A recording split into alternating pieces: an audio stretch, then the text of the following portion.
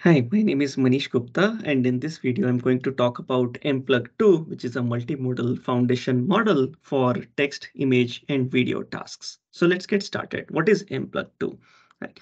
So several people have been doing multimodal pre-training.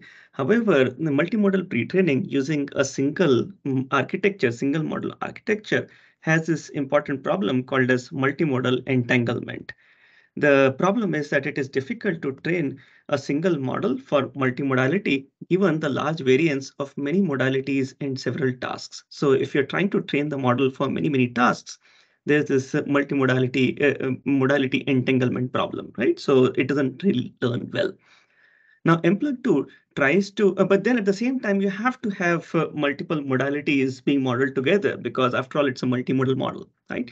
So the way mplug2 solves this problem is by having a very modularized design. Uh, and essentially, the way it does is that um, it has these modality specific encoders, but at the same time, it also has these universal layers. So universal layers try to bring in modality collaboration, multimodality collaboration, while these uh, language, uh, these these modality specific uh, modules essentially try to bring in uh, you know, modality uh, or handle the modality uh, modality entanglement problem. Okay.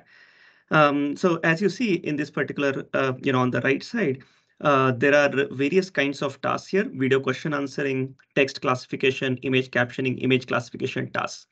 So if you look at video question answering, it's a video and text task. Text classification is just a text-based task. Image captioning is an image and text task. Image classification is just an image task, right?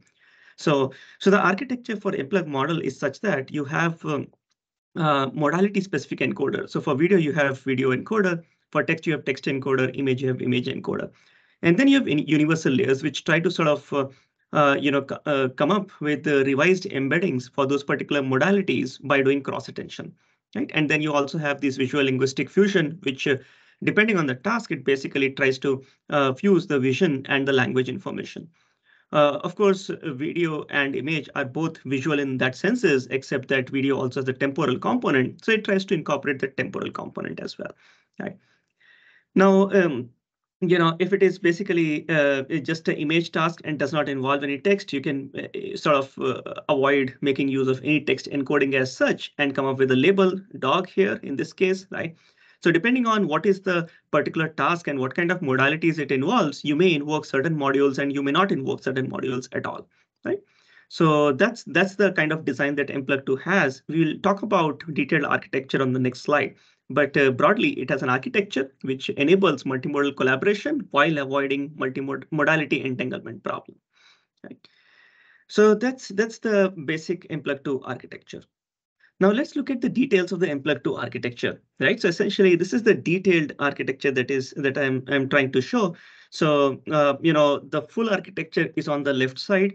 Uh, the uh, enlarged or the more detailed version for that is on the right hand side, right? So of, of some of those modules. On the left hand side, what you see is that you uh, start uh, with, uh, you know, when you have text, you essentially start with the text encoder.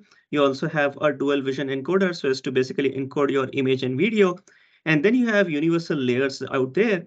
Uh, you know, if you basically uh, have just language kind of tasks, you can actually try to come up with predictions for language kind of tasks right from this particular representation but uh, uh, uh, because because it is incorporating both the text information uh, and also you know some kind of dual and dual vision encoding in the sense encoding of image and videos. But further, if you have like multimodal tasks, specifically multimodal understanding tasks, you can actually pass uh, the dual vision uh, encoder and text encoder representation through universal layers module, and then you can actually also pass that information through fusion module. So remember, the universal layers module still gives you different presentations for the text and another representation for the vision part. So the fusion module tries to fuse that information through cross attention. So this visual part basically supplied as cross attention so as to get a fused representation. And you can use the output of the fused representations for various multimodal understanding tasks. Now, but if you further want to generate stuff, so for example, image captioning and so on, you want to basically also use this transformer encoder, which basically, of course, consists of self-attention, cross-attention, and feed-forward networks, so as to basically come up with generated outputs. Okay. Now, in this architecture, there are a few new um, uh, modules, as you can see. So, for example, there is this dual vision encoder modules, and there are also these universal layer modules. Let's basically talk about them. So dual vision visual uh, dual vision encoder module is basically to encode images and videos. And uh, this is how it looks like. It's basically multiple layers of uh, a transformer encoder, uh, um, you know, typical transformer encoder, except for some changes. So let's look at those changes. So typical transformer encoder basically contains uh, self-attention and feed-forward network, and they have special self-attention and feed-forward network for the image modality, right? So for the image modality, they do just those. However, for the video modality, there's also this third dimension of time.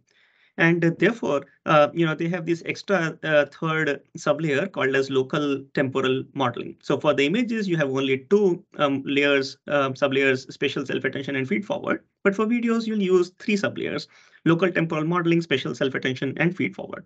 Right. So now what does do, temp local temporal modeling do? Well, it basically does uh, temporal modeling. So essentially, um, uh, so essentially, if you think about a video, you can think about a video as a 3D cube, basic, uh, you know, where this is the height, this is the width. So that's basically a single frame, but then you can stack multiple frames together in the depth dimension, and therefore you can capture the time aspect uh, via the depth, right? So uh, in the local temporal modeling, uh, temporal modeling uh, module, the way they model this stuff is to basically, uh, you know, try to figure out temporal correlations between the same spatial positions. So same uh, positions, uh, XY coordinates, basically across time. They try to find relations between them and pool across them using using convolution. So essentially, you first define groups. So you can define groups of uh, pixels across time, and then you can come up with a single representation for them. And that provides you with your local temporal features, right? So essentially, that's the way that the local temporal modeling is done. Essentially, it is basically modeling the same XY coordinate across time, uh, where you have grouped uh, certain frames together and certain points together so as to essentially get grouped features output. Okay. So this output is basically provided as extra tokens to spatial self-attention. Remember, uh, you know, when you're trying to uh, you're trying to uh, sort of model images, image frames uh, or images, basically uh, using transformers, you essentially divide the image into a grid and then uh, come up with a token representation for every element in the grid. Right. So that is how you provide input as tokens to a transformer when processing images. So so uh, unlike the, the older way of doing things where you would basically compute features for images using object detectors, this is a much more efficient way, right? Which is which was basically introduced by the Vision Transformers paper. So that is what is uh, so that is what happens in the dual vision encoder module. Uh, so basically, it has uh, uh broadly it has like two sublayers for images and three sublayers for videos. Okay. Now let's talk about this uh, universal layers module. Again, it's not a single layer; it's basically multiple layers.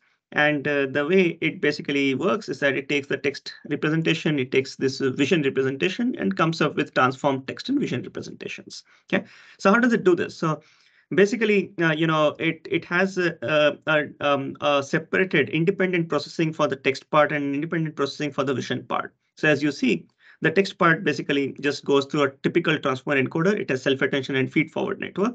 Although it is not shown, you know, it also has residual connections across these layers. And then similarly, you have uh, the vision part, which basically uh, actually uh, has three sublayers rather than two. It also takes the original vision uh, vision input as cross attention uh, in the cross attention sublayer in between the self attention and the feed forward. And the interesting aspect is, although these are two different copies of the self of the transformer encoder modules, they basically share the weights in the uh, feed forward uh, layer as well as in the self attention layers. Right, so the attention does not happen across modalities, but the weights are shared. That's that. Now, uh, from more from architecture perspective, uh, well, um, they they create two of those modules, mplug2 base and mplug2 uh, large, which is basically just called as mplug2. Uh, and then for the text encoder part, uh, for encoding text, essentially, uh, they basically use the BERT base for the mplug2 base and BERT large for the mplug2 large. Right. For the visual encoder, they basically use clip VIT models, VIT base 16 and VIT large 14 for uh, the visual encoder, depending on base or large. Uh, number of uh, universal layers, well, they use two universal layers. Number of layers for the fusion module, well, they, uh, so so basically, by the way, yeah, after universal layer, there is also fusion module, which is practically uh, you know, multimodal cross-attention module. So essentially, you take the text representation, do self-attention, but then you take the vision representation and do cross-attention, and then feed forward, and then that gives you the output for the fusion model module, right? Like several other uh, multimodal modules, uh, multimodal models, right? So that's that. So number of layers for the fusion module is set to three or six, depending on whether it is mplug2 base or mplug2 large. And then uh, lastly, you know, the decoder um, basically is a 12 layer model, uh, 12 layer, 12 layer decoder. So that's basically the architecture of mplug2 model.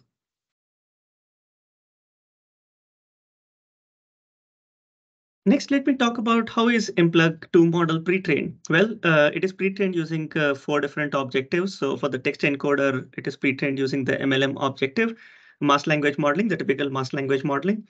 For uh, the cross-modal, uh, um, you know, uh, modules, basically they use cross-modal uh, matching losses, which is basically a combination of vision language matching. So essentially, if you have an image and a text, do they match or not? Binary classification. Or if you have a video and a text, do they match or not? Binary classification again. Also, they have a vision language contrastive learning. So given an image text positive pair, you want to ensure that it has a higher um, you know, probability compared to image and negative text and text and negative image pairs, right? So that's that. They also involve the instruction-based uh, language modeling loss. This is very much similar to the OFA or the Flamingo models, where they basically take handcrafted, uh, they, they create handcrafted uh, instructions to discriminate tasks and modalities and these tasks and modalities include video image text pairs or video image captioning, video image question answering, text generation, and so on. Okay.